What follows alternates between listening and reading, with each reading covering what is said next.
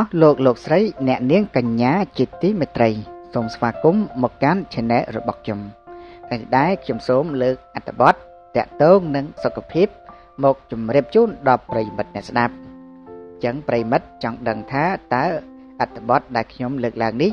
មានអត្ថន័យយ៉ាងណានោះយើងមកតាមដាននៅអត្ថបទទាំងស្រុងដូចតទៅបើអ្នកគិតថាញ៉ាំអាហារទាំង6មុខនេះទាំងឆៅ អាចបើសុខភាពនោះ អ្នកប្រយ័ត្នសួយធំ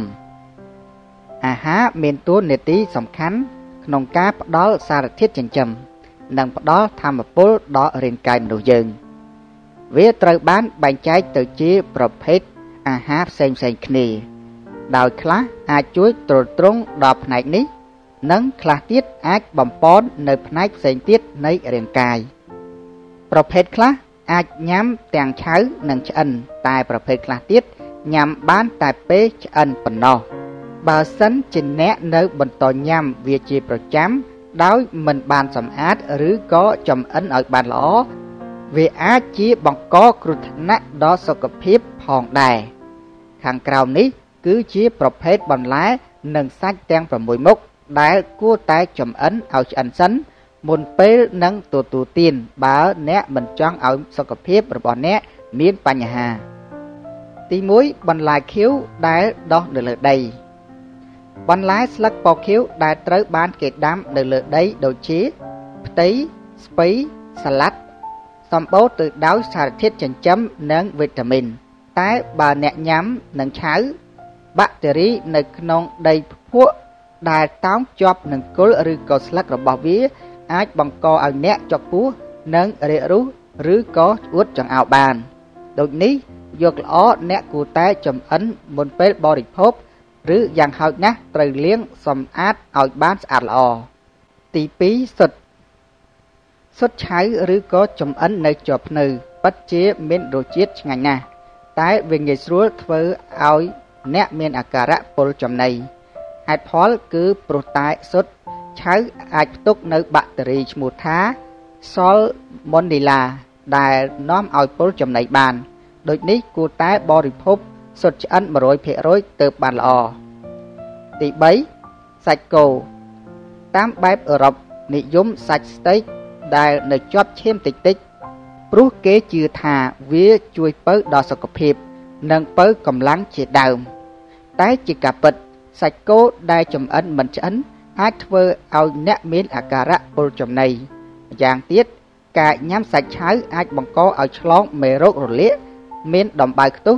ឬក៏សត្វល្អិតដូចជាព្រូនជាដើមដូច្នេះអ្នកគួរតែចំអិនឲ្យបានឆ្អិនល្អដើម្បីកុំឲ្យឆ្លងមេរោគទាំងនោះទី4 Chief Chief ជាប្រភេទអាហារផ្អាប់ដែលមានផ្ទុកបាក់តេរី Salmonella ដែលអាចធ្វើឲ្យពុលចំណីបាន បើញ៉ាំឆៅហើយបាក់តេរីនោះអាចធ្វើឲ្យរលូតកូនផងដែរដូច្នេះស្ត្រីមានផ្ទៃពោះគួរតែជិះវៀងទី5សណ្ដែកបណ្ដោះសណ្ដែកបណ្ដោះគឺល្អចំពោះសុខភាពព្រោះវាមានវីតាមីនខ្ពស់យ៉ាងនេះមែនតែបន្លែប្រភេទនេះត្រូវបានដាំដុះទៅលើដី និងស្ថិតនៅក្នុងកន្លែងដែលមានអាកាសធាតុក្តៅហើយសើមដូច្នេះវាតែងតែមានបាក់តេរីខ្លះតោងជាប់មកនៅពេលដែលប្រមូលផលបន្លែពណ៌សនេះមានផលប៉ះពាល់ខ្លាំងទៅលើមនុស្សដែលមានប្រព័ន្ធភាពស៊ាំនិងប្រព័ន្ធរំលាយអាហារខ្សោយដូចជាមនុស្សចាស់និងកូនក្មេងជាដើមទី6អាហារសមុទ្រអាហារសមុទ្រមានដូចច្រើនដូចជា ក្តាមបង្គាជាពិសេស oyster ត្រូវបានមនុស្សទូទាំងពិភពលោកនិយមញ៉ាំឆៅតែអ្នកត្រូវដឹងថា ទាំងនេះជាប្រភេទអាហារដែលមានមេរោគខ្ពស់ព្រោះវារស់នៅនិងស៊ីចំណីក្នុងសមុទ្រដូចនេះពេលដែលសមុទ្រកខ្វក់ដូចដូចជាការបង្ហូរលូចូល និងហៀប្រេងជាដើមដោយសារកង្វក់ទឹកនេះធ្វើឲ្យអាហារសមុទ្រជាពិសេស oyster មានមេរោគនិងអាចឆ្លងទៅមនុស្សពេលបរិភោគសាច់ឆា ដោយសារកង្វះទឹកនេះធ្វើឲ្យអាហារសមុទ្រជាពិសេស oyster មានមេរោគនិងអាចឆ្លងទៅមនុស្សពេលបរិភោគឆៅបាន បាទប្រិមិត្តនេះគឺតកតងនឹងអាហារទាំង6ប្រភេទដែលយើងគួរតែចំអិនឲ្យបានស្អាតល្អទើបយើងញ៉ាំបរិភោគទៅ មិនប៉ះពាល់ដល់សុខភាពសូមបញ្ចប់នៅអត្ថបទខ្លីនេះសូមអរគុណអស់លោកលោកស្រី អ្នកនាងកញ្ញាជាទីមេត្រីសូមស្វាគមន៍មកកាន់ Channel របស់ខ្ញុំ តែដែរខ្ញុំសូមលើកអត្ថបទតកតងនឹងសុខភាព មកជម្រាបជូនដល់ប្រិយមិត្តអ្នកស្ដាប់ចឹងប្រិយមិត្តចង់ដឹងថាតើអត្ថបទដែលខ្ញុំលើកឡើងនេះ